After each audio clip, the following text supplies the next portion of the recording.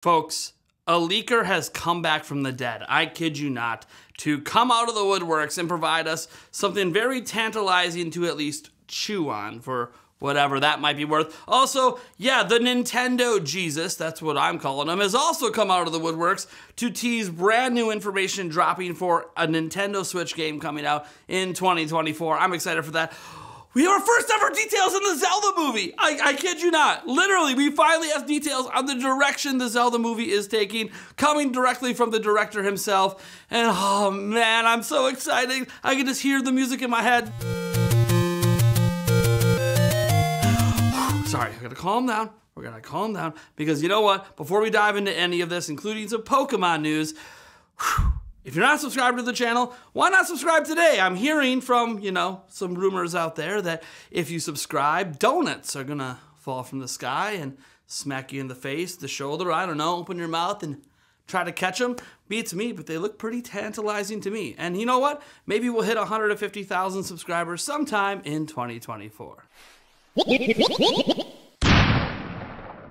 Now, our first story deals with the Zelda movie. Oh, it's hard for me to even talk about this without being excited. In fact, this little bit of news we're going to talk about tonight on the Nintendo Prime podcast with special guest Nintendo Talk. Ooh, it's going to be a good one. But let's get into what the news is before we even get to why are we even talking about this damn thing. Well, because the director of the movie, Wes Ball, did an interview with Entertainment Weekly where he stated the following about the Zelda movie. Ball described his vision as this awesome fantasy adventure movie that isn't like Lord of the Rings. It's its own thing. I've always said I would love to see a live action Miyazaki. That wonder and whimsy that he brings to things. I would love to see something like that. It's going to be awesome, Ball promised. My whole life has led up to this moment. I grew up on Zelda, and it is the most important property, I think, that's untapped IP, if you will. So we are very much working hard to do something. We're not just trying to do it because we can, we want to make something really special. Now, folks, this already gets me really excited, but let me explain why. If you don't know what a Miyazaki film is, he is the co-founder of Studio Ghibli, co-founder of the company back in 1985. He's actually retired right now. He's 82 years old, but all of Studio Ghibli's best performance stuff, Princess Mononoke, Spirited Away, those are like the two most popular ones they've made. Yeah, both of those were not only written and scripted by him, they were also directed by him. He actually directed a film earlier this year, but he is officially retired. So it's kind of interesting that he's going to take the movie in that direction of Studio Ghibli, at least in terms of the storytelling. That's what I presume. Who knows? Maybe some of the imagery. I don't know how you can translate the animated imagery into live action. Don't ask me. It's not for me to worry about. But the biggest thing I get out of this is with it not being like Lord of the Rings, and it can't exactly be like Studio Ghibli because it's not animated, it lets me know that whatever this movie is, it's going to be a completely unique experience. And let's just say I'm ready to go ahead hook my, what am I even throwing, a whip? What is this, mate? I don't, sure, we're throwing a whip and hooking onto the back of the Zelda hype train and uh, hoping it doesn't kill us as we wait for this movie to get more information. Next up, we have some big news on Pokemon Scarlet and Violet dropping tomorrow. That's right, the Indigo Disk DLC is getting a brand new trailer tomorrow. This was announced by Pokemon Japan, and it's a worldwide release of a trailer. Yes, it's actually attempting to one up the Game Awards for crying out loud. Kind of cool, but hey, we'll get to talk about it. So I'm excited. You know, the interesting thing about this trailer is we don't know a ton about the Indigo Disk DLC. We have some teases from the past, but we don't know the overarching theme and, and what exactly we're supposed to be doing. So this is going to be really fascinating. It should be really jam-packed. Remember, the Indigo Disk DLC drops on December 14th, later this month. So this is a really big deal. If you want to know when it's going to drop, 8 a.m. Central Time tomorrow is when it's dropping, and it's that same time worldwide. So if you're looking, you know, convert it to all your different time zones.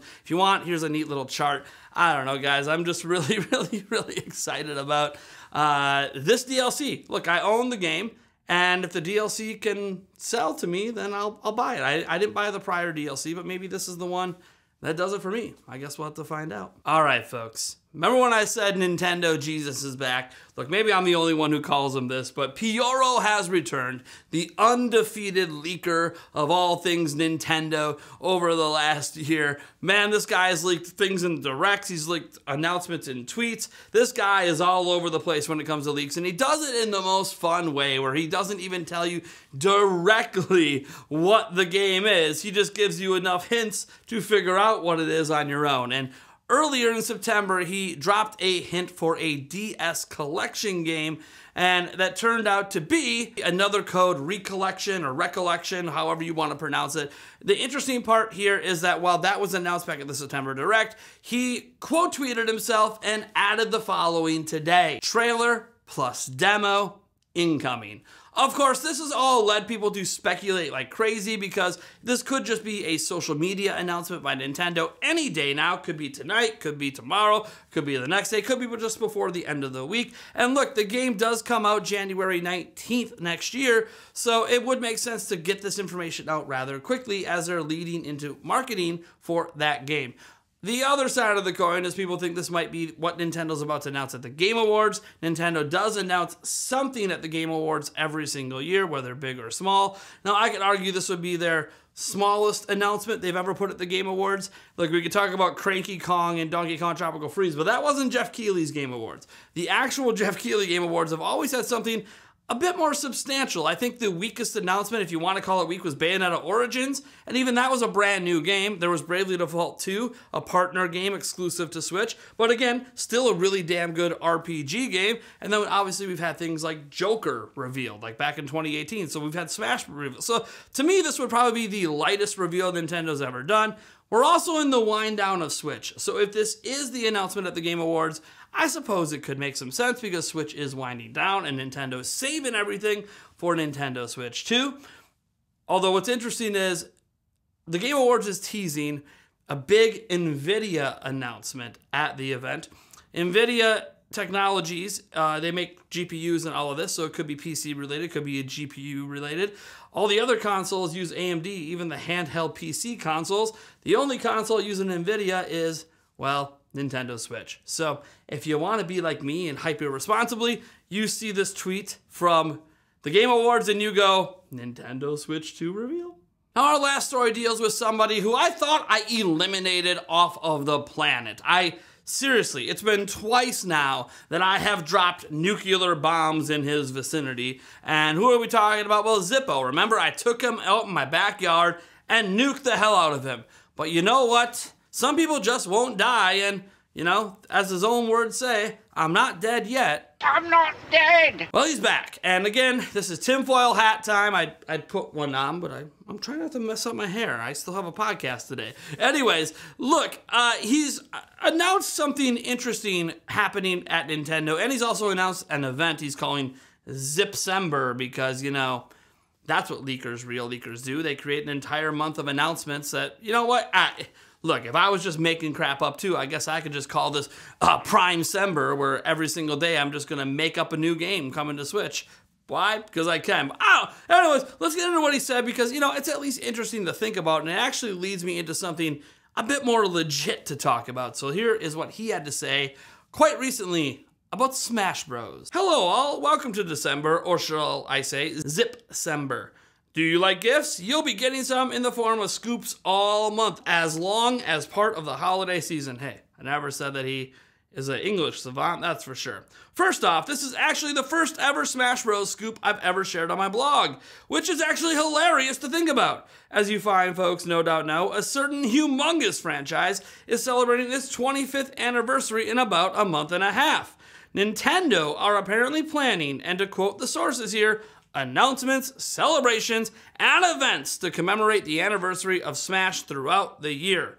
The one thing that's already been ruled out is a new game. The next Smash Bros. is something that's been planned in some way right now, but that's not going to be for a bit. So what could it be? So then he just speculates on possibly being a concert series or Smash 64 coming to NSO, more DLC for Ultimate, Smash remasters, blah, blah, blah, blah, blah, freaking blah. Look, it, it, it's a really weird post because it tells us nothing. Yes, Smash Bros. 25th anniversary is coming up, and there's supposed to be some stuff. What that stuff is, I don't know. Um, I'm gonna say in a year where Nintendo's likely launching Nintendo Switch 2, there probably isn't a ton of stuff happening, but I will note one thing, and he doesn't bring this up. In fact, he outright denies this in some ways. But it does look like Nintendo might be working on the next Smash Bros. game. Bandai Namco seems to be dropping hiring posts where they are hiring for a game that happens to look a lot like a Smash game based on prior hiring posts. And Masahiro Sakurai, the biggest sign yet, he's got his own YouTube channel where he's dropping YouTube videos all the time, except a few months ago, those YouTube releases started to really slow down. He also started to talk about Smash again in some of those videos.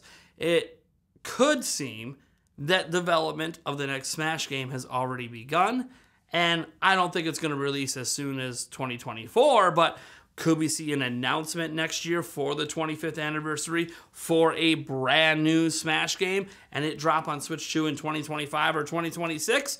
Now that I do think is a distinct reality. Now I've always been on the they're gonna package everything in Ultimate again and and resell it to you for 60 bucks or whatever, and they still might do that.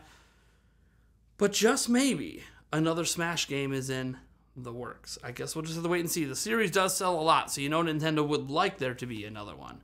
I don't know, guys. I like I said, I've already attempted to eliminate Zippo off the face of the planet, and it looks like we're gonna hear more from him the rest of the month. So I don't know what else to do. You know what? Hold on. There's one last thing. There's one last thing. Hold on. Let me let me let me channel the force.